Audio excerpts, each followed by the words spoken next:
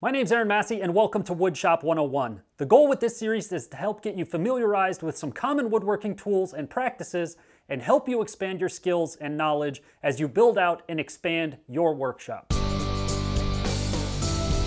On today's episode, we're going to look at the difference and uses for two common woodworking tools, the planer versus the jointer. Both of these tools carry a fairly hefty price tag, and many beginners or intermediate level woodworkers may not have either tool. But before you go and spend the money to buy one, it's important to know exactly what each tool is used for and how it works. Now both of these are preparation tools, meaning that they are used at the beginning of a woodworking project to help you get flat, uniform wood to work with. If you're just starting out, you may be using whatever construction lumber you can get your hands on from the big box store or you may be spending quite a bit of money on pre-milled hardwoods that you picked up from a local specialty store. In either case, the projects you work on are limited to the material that you buy. These tools can help you create wood projects in any size or thickness that you want. Now, it's very rare that wood you purchase doesn't have some kind of warp or movement to it. For the sake of this video, I'm showing you three common types of wood warp you may encounter. Bowing is when a board has a bend in it so it doesn't lie flat. A twist is when the board won't sit flat on all four corners corners so that when you press on one corner, the board rocks back and forth.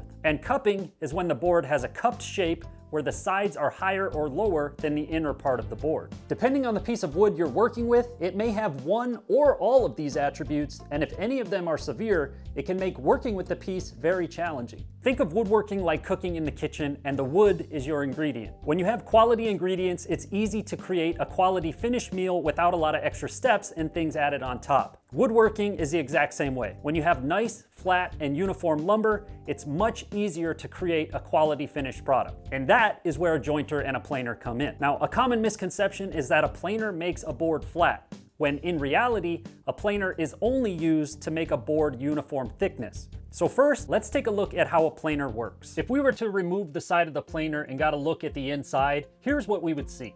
We'd see two feed rollers these rollers apply downward pressure onto the piece of wood so that it stays flat along the bottom of the planer, while at the same time feeding it through the planer itself. We'd also find our cutter head. Now there's different cutter head types available, but they all do the same thing. It's a cylinder that spins at extremely high RPMs and cuts the wood as it's fed through the machine. So let's take a look at how that works with a piece of wood. As you can see, the wood is fed through the machine the roller heads press down onto the piece of wood, pushing it down along the deck as the blades cut it to a uniform thickness. Now let's see what happens if we do this with a piece of wood that has a bow in it. As you can see, as the piece is fed through the machine, the rollers press down on the piece of wood and it follows the bow. So while you'll end up with a piece of wood that's uniform thickness, it won't be flat. If you flip the piece over and feed it through the machine, the rollers will push down on the bow and flatten it out as it goes through the machine, but as it comes out the other side, the board will spring back to its original shape, so while your board will be uniform thickness, it still won't be flat. The same can mostly be said for a board with a twist in it. As the board is fed through the machine, while it may take a little bit of the twist out, the rollers will push down on the board and it will follow whatever the opposite face of the board is doing. As it comes out the other side of the machine, the board will be a uniform thickness, but it won't be flat. The one scenario where a planer can produce a flat surface is if the piece has a cup in it. Depending on the severity of the cupping, you may be able to plane down enough of one side of the board to achieve a flat surface. However, you may have to feed it through the machine several times and lose a lot of material in order to do that.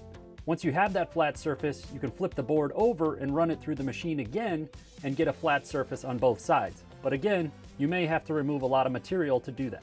So in order for a planer to work effectively, you have to have a flat surface on one side of your boards in the first place, and that's where a jointer comes in. So if we take a look at a jointer, you'll see we have two tabletops that are coplanar to each other, an infeed table and an outfeed table.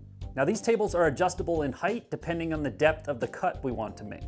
And we'll also find a cutter head very similar to the cutter head that we have in the planer. Now if we feed that same bowed piece of wood over the jointer, you'll see that if we don't apply too much downward pressure on it, it'll take out that bow. It may take a few passes to do it, but what you'll see is that it creates a flat surface on the bottom of the board.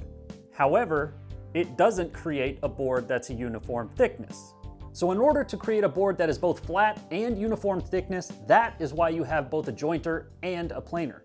The jointer creates a flat surface for the deck of the planer to reference and create a board of uniform thickness. Well, I hope this video is helpful to you for understanding how a jointer and a planer work and why they are used for specific applications. This video just touches on the surface of what these tools are used for, but if you guys enjoy this series, maybe I'll dive into greater detail later on. Now, if you wanna buy one of these tools, but you're not sure which one, most woodworkers I know tend to start by investing in a planer first, myself included, and in my next video, I'll be showing you how you can create a relatively simple and inexpensive jig for your planer that allows you to achieve similar results to a jointer without the investment. So make sure you guys are subscribed to the channel and hit that notification bell so that you don't miss out on that. And if you'd like to check out any more of my woodworking or home improvement content, make sure to visit my website at mrfixitdiy.com and download some of my free woodworking plans.